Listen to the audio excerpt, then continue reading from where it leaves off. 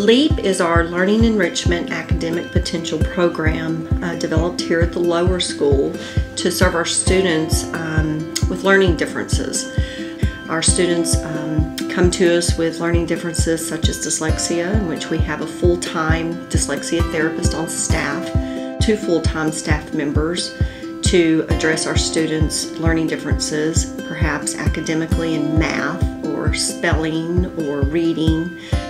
The reason that the LEAP program was developed is Brook Hill recognizes in order to meet the potential of all of our students that we also have to meet our students where they are in their learning needs. We love the LEAP program and we're so thankful that Brook Hill has this to offer to kids of all different types of learning and we're really thankful for it for our daughter Waverly who's dyslexic and just the leaps that she's been able to make in learning and in her education.